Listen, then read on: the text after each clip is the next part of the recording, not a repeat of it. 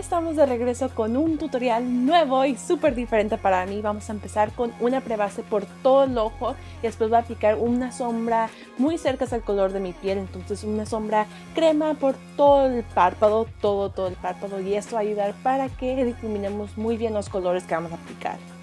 El primer color que voy a utilizar es un color rosa fuchsia y yo no tengo sombras de ese color entonces lo único que hice fue agarrar un rubor de ese color y sirve igual y vamos a poner capas de este color y pues agarrar otra brocha para difuminar muy muy bien la sombra. Voy a colocar un morado en la esquina del ojo. Yo agarré dos sombras, las combiné, pero puedes usar cualquier morado que tengas de tu colección. Y igual vamos a aplicar el color y después vamos a difuminarlo, aplicar, difuminar. Vamos a hacer eso bastante en este video. Que les dije vamos a difuminar bastante en este video. Ahora vamos a agarrar dos sombras de la paleta Lorac que es el color oro y bronce y lo vamos a aplicar donde no hemos puesto nada de sombra en el párpado.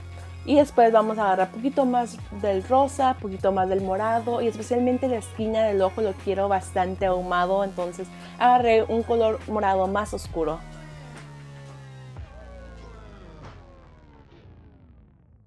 Hay que comenzar con la cara y vamos a aplicar la base que es la Maybelline Matte in Poreless. Ya me han visto bastantes veces usar esta base en el canal y también el corrector Maybelline Fit Me. Son dos de mis productos favoritos, me encantan y solamente voy a usar una brocha gordita para difuminar todo.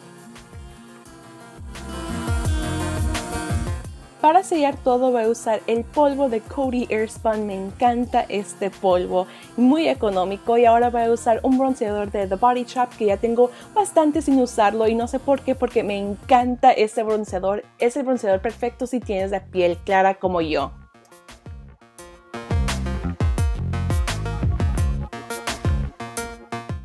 Estrella de este look son los ojos, escogí un rubor muy clarito de Tarte, está muy bonito el rubor. Y para iluminar vamos a Champagne Pop de Jaclyn Hill. Me encanta este iluminador, está increíble, oh my god.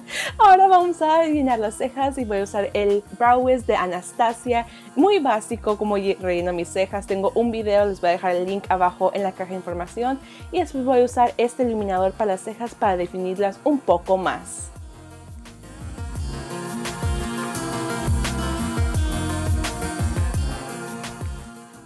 Les quiero contar un poco sobre Alo, mi amiga. Ella tiene un talento increíble, la verdad. Si no la siguen en YouTube ni en Instagram, tienen que seguirla. Es mexicana, hace videos en español y es una persona increíble. Me cae súper bien ella.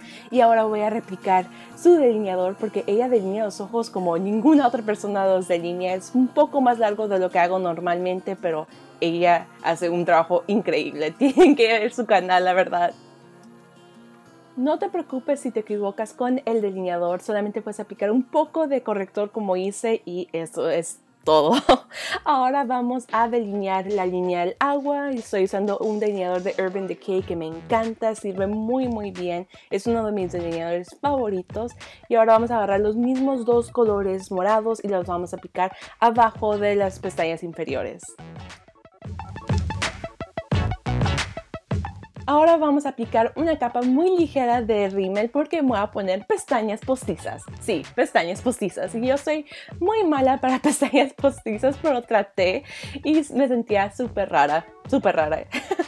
Ahora vamos a continuar con delineador de los labios y también vamos a aplicar este labial de NYX que es uno de los NYX Butter Lipsticks.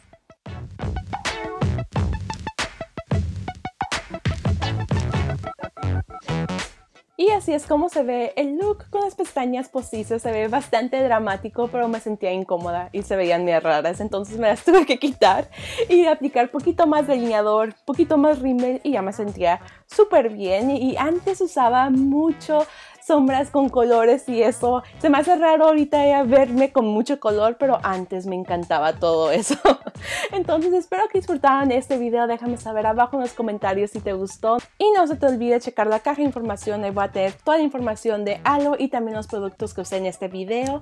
Y también pasen al canal de Halo para ver su transformación, su intercambio. Y ella hizo un look basado en lo que yo hago normalmente, entonces muy natural, muy bonito con un labial coral, está hermoso el look que hizo, entonces vayan a su canal, es una de las pocas personas que conozco que también es una youtuber bilingüe, les va a encantar su canal, vayan a apoyarla y les veré muy pronto en mi siguiente video.